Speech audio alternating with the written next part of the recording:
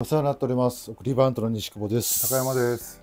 いらっしゃいませ。あ見てください。はい。僕も持ってます。いや味がしますね。うん、ココナッツの味がします。とうん。実はこれ、ストーンというですね、まあ、リフレッシュデバイス。お実はこれのですね、うん X、旧ツイッター。旧ツイッター、今あの、旧ツイッターのアカウント運営を始めました。日。はい、おめでとうございます。ありがとうございます。これ、概要欄にですね、あの、ツイッターのアカウントがあるんで、皆さんフォローしてですね、ぜひちょっとこれ追ってください。いいねとかリツイートとか、あの、していただければ、通知もオンにしてオンにしてほしいです。それとですね、Amazon のリンクもあるんで、よかったら、これぜひストーン、、ストーンのうん商品リンクね。はい、はい。ぜひ買ってください。ストーン。はあ、リラックスといえば、うん。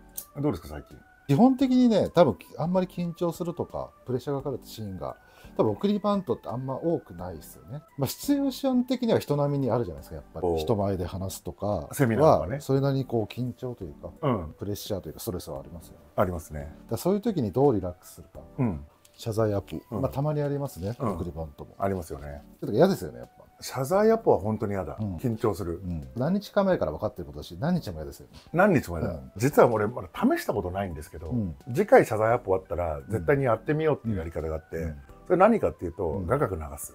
雅楽。雅楽。ふい。ーんっていうのを、なぜ、なぜ、なぜ？なんか雅楽ってうん由緒正しいというかさ、なんか神聖なもん、厳かで神聖なもんじゃないですかうん。さすがに雅楽じゃうん。怒れないと思うんですよ。それは、え、お客さんの前で流す？そうお客様にすいませんとか。ではこちら聞いてくださいまあ、確かかにね、滞りなくこの、うこの時間を終わらせるっていう心理が、に心理が働くんじゃないかなって思ってた。なんで雅楽をうん、流す。いいと思います。はいで、僕うはん思ったのが、はい。大体の人犬って好きじゃないですか。ワンちゃん連れてっちゃおうかな。そしたら和みますよ和ねむ。ワンちゃんの前では怒れないですよね。どうしたどうしたどうしたって言ってる間にす、すいませんでした。申し訳ございませんでしたってね。すごくいいと思います。それは解決しましたね。うん、じゃあ、あれはセミナー前とか、要は人前で話す。まあもちろん、うんよくあの、人前で話すときに、その、人たちをじゃがいもに見立てるって、うんじゃがいもだと思って話すとかよくあるじゃないですか。うん俺逆だと思っててう、ん自分がじゃがいもだと思って話すんですねどう。いうことですか？あの、普通はほら、お客さんがじゃがいもじゃん。うんでも自分がじゃがいもだった場合、んじゃがいもが喋っただけですごいじゃないですか。うんこんにちはってじゃがいもが言っただけでも、そのじゃがいもって本当にすごいと思う。人前では話すんだからそれなりのことを用意してるじゃないですか。じゃがいもがそれなりのことを話せるんだったら、うんもうそれだけで拍手喝采だよなと思って。でも実際拍手喝采にならないけどそれはもういい、いい、だだって、うん。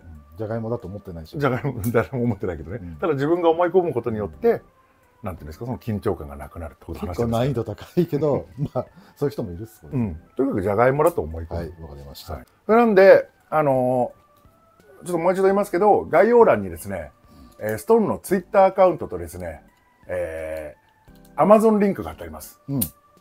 で、まず皆さん、あの、X のリンクうん開いていただいて、フォローしてください。はいで、投稿を見たら、いいねとリツイートしてくれれば嬉しいです。お願いしますお願いします。で、よかったら買ってください。買ってくださいじゃあ、そんな感じですかね。はいはい。